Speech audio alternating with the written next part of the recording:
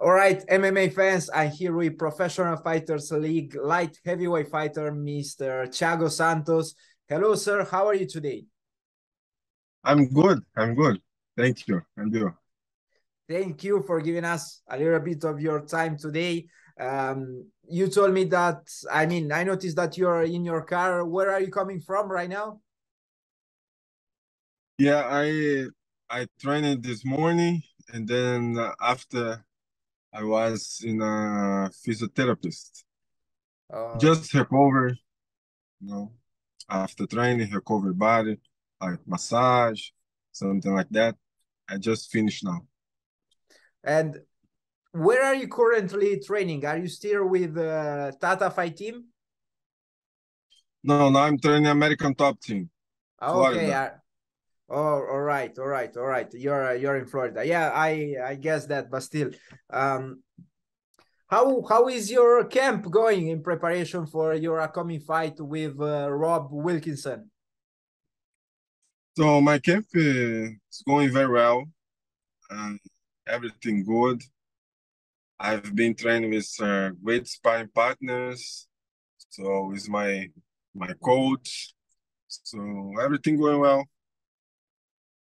I mean, at this point in your career, this must feel like pretty standard, a pretty routine uh, for you after all these fights. I was just curious to see to you know to know if you watched uh, Jon Jones uh, fight uh, last uh, you know Jon Jones fight with Ciryl Gane uh, um, and his debut at heavyweight. Yes, I watched that fight. Uh, I expected for Jon's win, but I didn't even imagine it, how easy, how easy he would make it, and he did. You know, he made it easy. So he's he's great. He's one of the best of the world, and I told before he would be a would he would do a good job in the heavyweight division, and uh, yeah, he did very well, very very well. I'm asking this since, of course, you faced uh, Jon Jones um, back in 2019. Uh, you lost via split decision. It was a really close contest on that occasion. Do you ever think about about that fight and your performance in that fight? Uh, didn't understand your question. I mean, do you ever think about your fight with uh, Jon Jones? Uh, I think when people talking about, you know, like it was in my my past. Was a great fight. Was a great performance against one of the best of the world. So, but that's it. I talk sometimes when people ask, when people talk about it, but no, now I keep moving forward. I look forward, look for my my next opponent, my next fight. So it's what I'm thinking now. And do you ever regret anything in that fight? No, no, no regret, no regret. I did everything what I could do you know, I had injury, serious injury, but anyway, I did my best, and uh, I didn't. I, I I couldn't do anything else. I wouldn't change anything. I, I, I did amazing amazing preparation, amazing camp for that fight for for fight him, and I fought.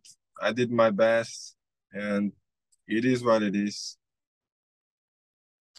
You then uh, you know you kept fighting in the ufc you actually fought quite some you know some opposition some opponents. You fought jon jones glover teixeira uh, okay rakic but then again uh, ankalaev and jamahal hill uh, you fought many former ufc light heavyweight champions um, ankalaev uh, drew with uh, uh, Jan Blachowicz, but still he proved that he is uh, at a very very high level. Do you feel like uh, you know the UFC could have given you some better matchups? Some perhaps no. some okay, please. No, I, I don't feel. I don't feel. I think the position where I was and the fight, who I am, things uh, was how should be. You know, I, I I should fight the top guys because I'm I'm the top of the world. I am one of the best. So I, I couldn't complain. You know that that all that fights make sense. You know the the, the guys is the best. Is true, the best fight the best. So I just fought the all top five.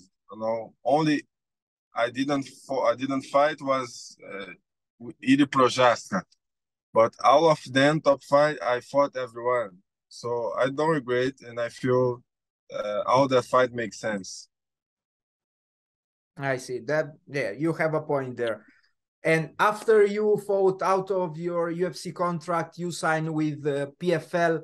What was it behind your decision to join the PFL? What was your motivation to join the PFL? The fresh air.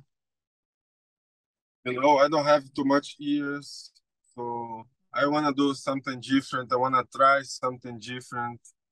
I want to see uh, new organization, new promotion, new new new opponents. Sorry. Uh, no worries. Let me fix here. I'm back. Right. Yes, you're back.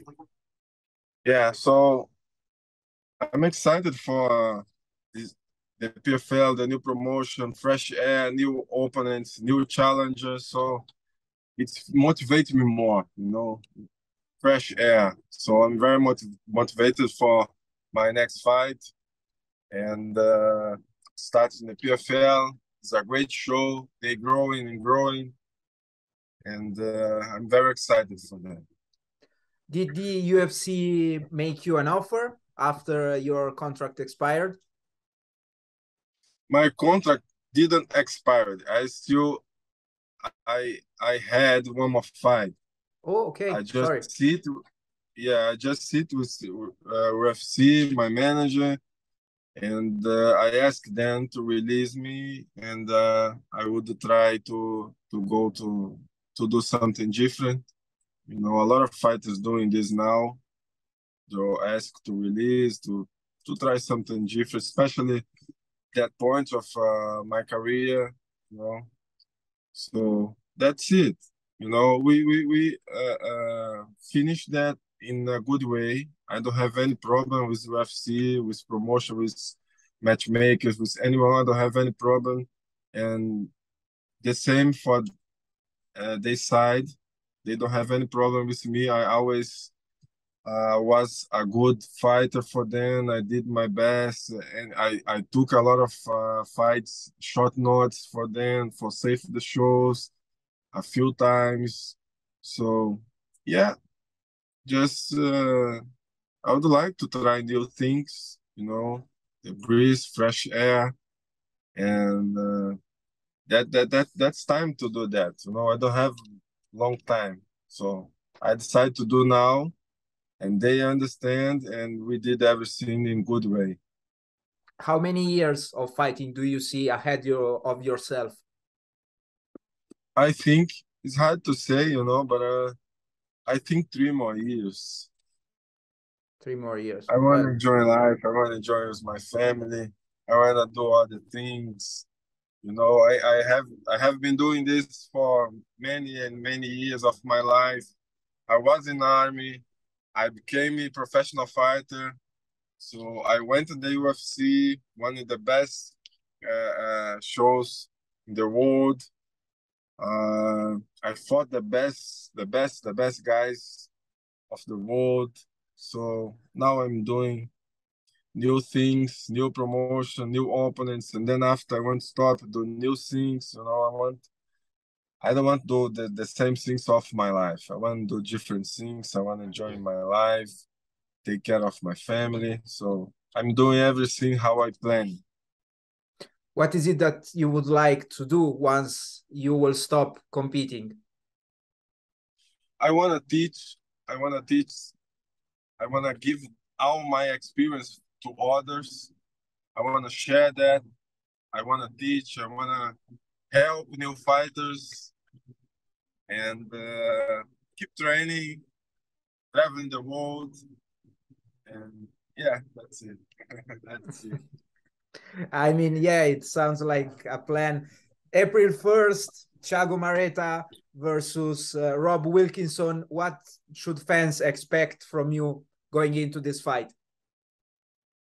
The fans can expect my best, my best version.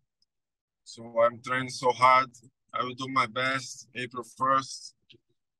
I'm gonna get the win. I'm gonna focus in the that belt, the PFL belt, to become the light heavyweight champion in 2023.